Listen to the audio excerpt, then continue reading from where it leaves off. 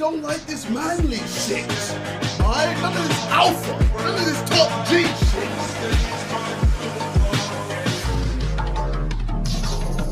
Although some people said they like it, some people said they don't like it, and I said, well, what colour is your Bugatti?